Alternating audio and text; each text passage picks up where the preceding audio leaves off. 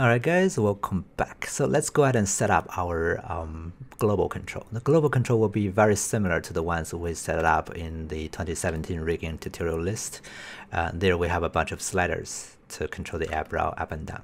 Uh, so let's go ahead and do that.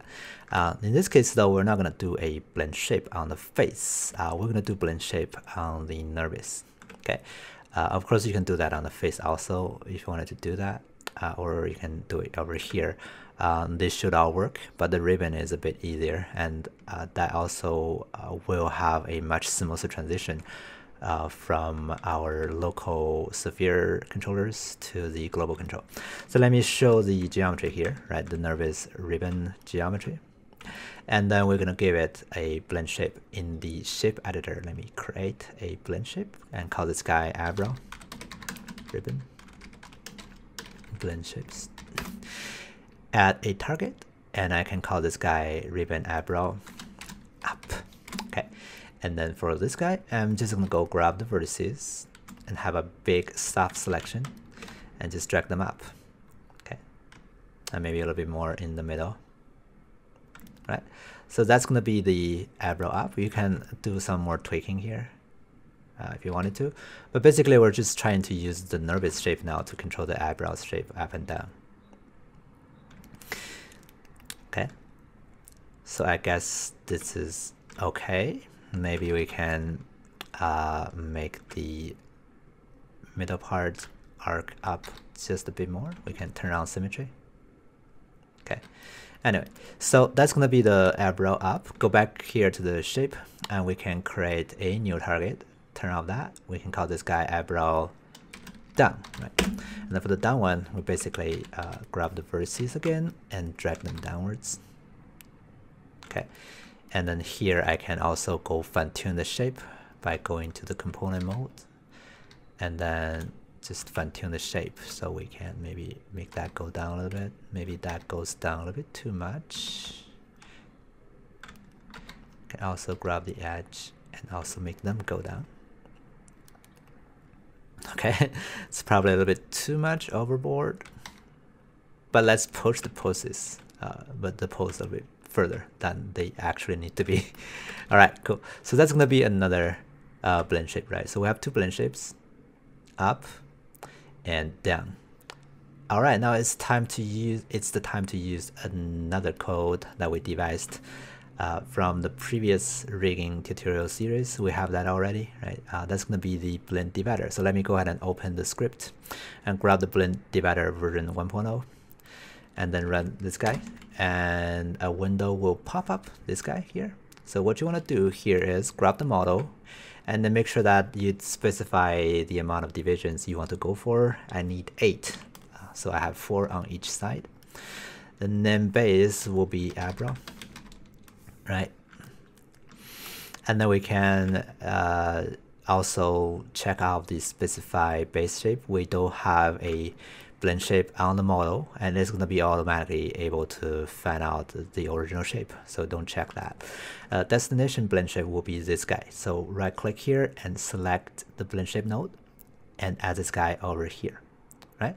Uh, that should be everything. So let me grab the geometry using object mode, right? And then create planes. Oh, actually, uh, it's, it's telling me there's no difference because I didn't check that out. Okay, so we have to go to one of the blend shapes. All right, now let's go ahead and click on the create planes. It's gonna create eight planes to subdivide the model into those different uh, chunks. And then when, when we're happy with that, you can move them around if you wanted to have a uneven distribution, but I'm okay with this right? And then I'm gonna say uh, grab the model again and make blend shapes. Uh, eight blend shapes will then be created. Also, eight controllers will be created down there on the origin. At the origin, let me control G to group them together and call it AC eyebrow uh, GRP. And then I can move this guy uh, up to where the face is. Maybe scale them up also drag them over here. Alright, cool. Now I can turn off the original eyebrow up blend shape and use my sliders to control the eyebrow up. All right, just the same thing we did actually, now applied on the NURBS. Okay, so let me go zero that out, zero the controllers out, and drag up the eyebrow down.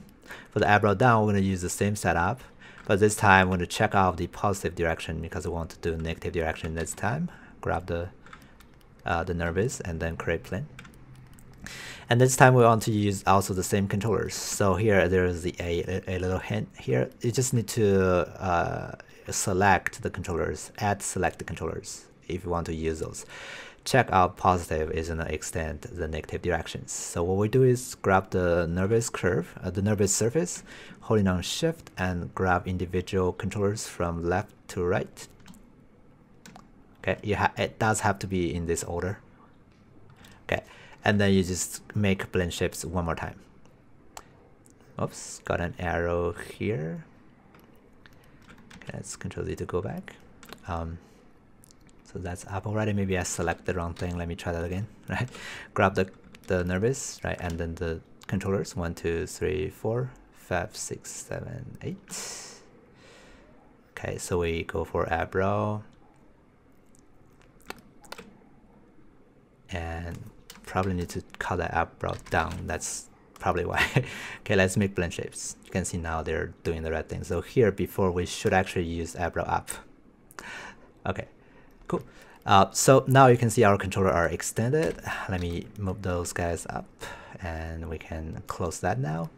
And we can also disable the original uh, blend shape that we have.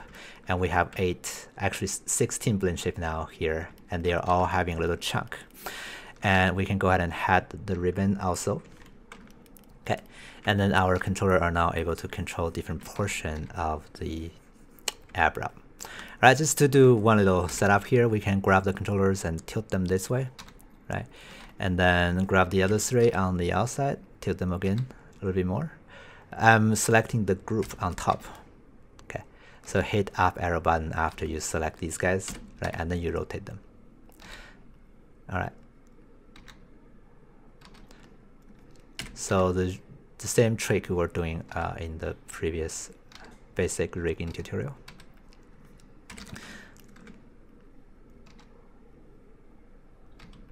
Probably can also code this so I don't have to do this anymore. Alright, so one more. Cool. So that way we can grab the controllers and do this uh, movement here. You can see how the eyebrow changes. right? Cool. So that's going to be another setup we can do here with a global controls. But there is actually something inconsistent here. We have those smaller controllers, right, the spheres. Now when we use those global controls, you can see the smaller spheres does not move with it, right? Now that's not going to be very convenient, although they're doing their job, right? You can use those spheres to fine tune the shape, right? The problem again is that they're not following when we move the bigger controllers, right? So that does not feel like they're inside of a one system, even they are actually working together quite nicely. So in the next video, I want to show you how we can actually make those controllers to follow the skin. All right, see you next time.